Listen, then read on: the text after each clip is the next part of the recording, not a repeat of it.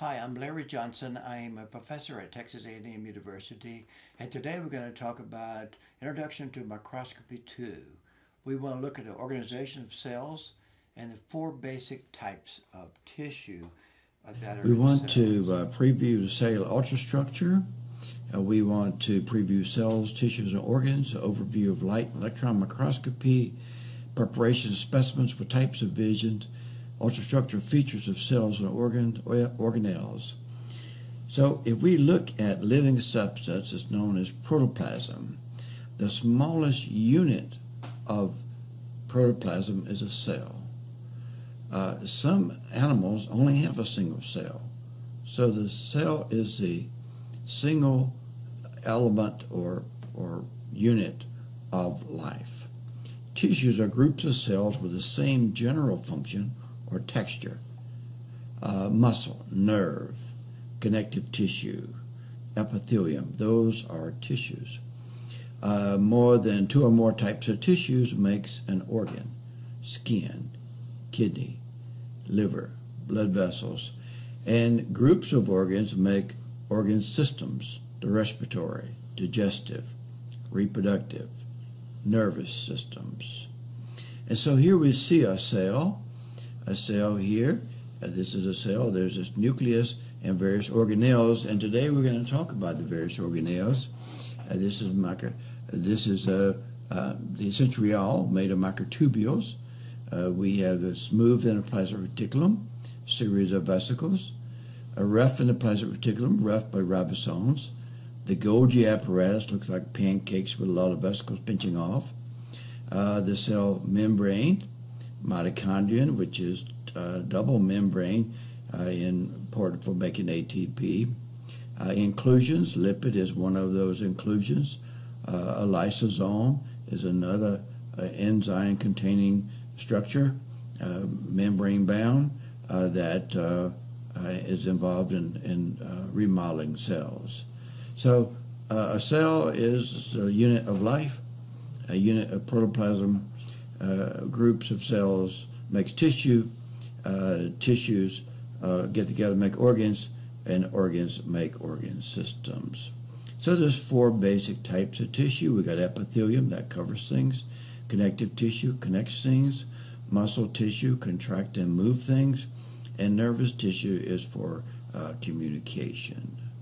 So if we start with epithelium, it covers organs, lines viscera, blood vessels, and it's the secretory cells of glands. So aligning your um, uh, circulatory system, aligning the outside of your cavity, aligning your digestive tract and organs, all that is epithelium.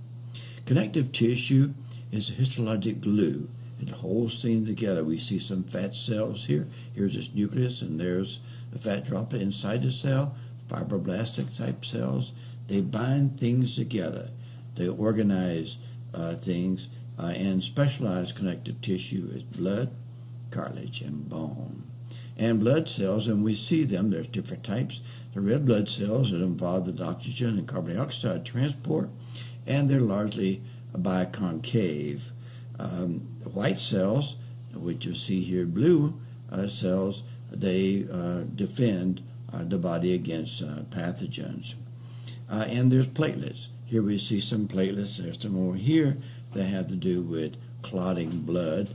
They anucleated, has no nucleus, just a, a piece of a cytoplasm, but it acts kind of like a cell. Here we see the red blood cells, the biconcave disc, red blood cells here, neutrophils, uh, a monocyte, which gives rise to macrophage, lymphocytes, uh, eosinophils, and basophils. And here we can see in these Body World specimens. This individual is 120 pounds uh, versus 300 pound individuals. You can see there's a lot of fat uh, located uh, in uh, the skin uh, of this individual, which is an organ. So we have fat. You can see the back fat here. Uh, we also have muscle. That's the pink that we see, and through here is a so connective tissue is one of those four basic type tissue and muscle and muscle, it generates contractile force. That's what it happens. Uh, and here we can see where when the Body Worlds, uh, the, the muscle has walked out of the skeleton. And that brings us to muscle, just is skeletal muscle. And Another type of muscle is smooth muscle that we see here in the digestive tract.